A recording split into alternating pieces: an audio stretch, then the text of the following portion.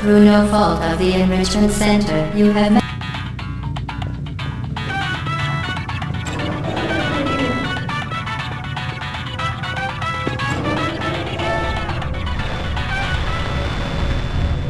Thank you.